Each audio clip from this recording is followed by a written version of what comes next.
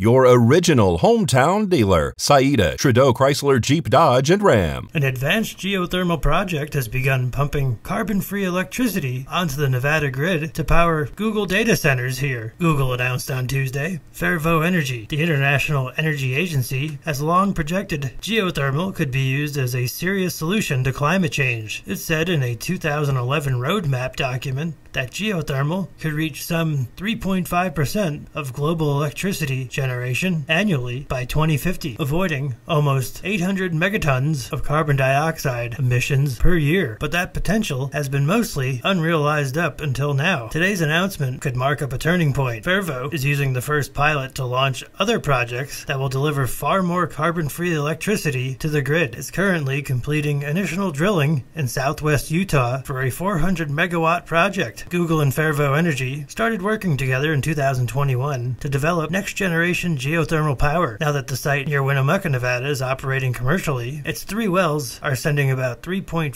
megawatts to the grid. The data centers require more electricity than that, so Google signed other agreements for solar and storage too. It has two sites in Nevada, one near Las Vegas and the other near Reno. Google announced back in 2020 that it would use carbon free energy every hour of every day, wherever it operates, by 2030. Many energy experts believe huge companies like Google can play a catalytic role in accelerating clean energy.